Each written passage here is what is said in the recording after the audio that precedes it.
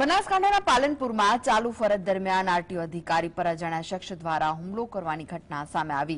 RTO અધિકારી driving test track પર ફરજ પર હતા અને કામગીરી કરી રહ્યા હતા. તે દરમિયાન એક અજાણ્યો શખ્સ કંટ્રોલ રૂમમાં અનધિકૃત રીતે આવી ગયો અને આરટીઓ અધિકારી સાથે ગેરવર્તણૂક કરી કામગીરીમાં અડચણ ઊભી કરીને અધિકારી પર હુમલો કર્યો. જે બાદ આરટીઓ અધિકારી અજાણ્યા શખ્સ સામે ફરિયાદ નોંધાવી છે.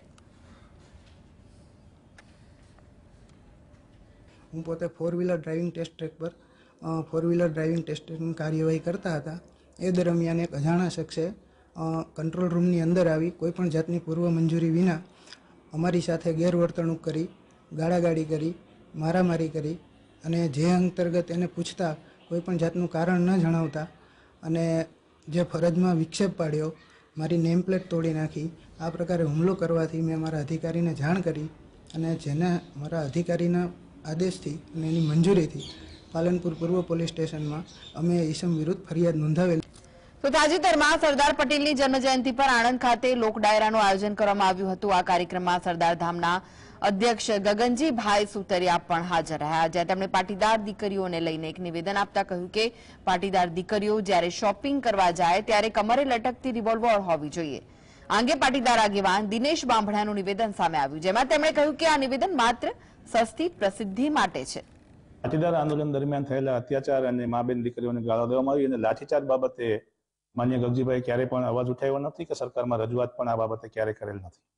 બીજી બાબત છે કે દીકરીઓના કમરે બટુક બંદૂક લટકાવવાની જે વાત છે, તેમાં કોઈ પણ દુર્ઘટના બનશે ત્યારે શું ગગજીભાઈ જામીન થશે કે પાટીદાર સમાજના દીકરાઓને જેવી રીતે પોતે જામીન થવું પડ્યું હતું એવી પરિસ્થિતિમાં મૂકવામાં આવશે?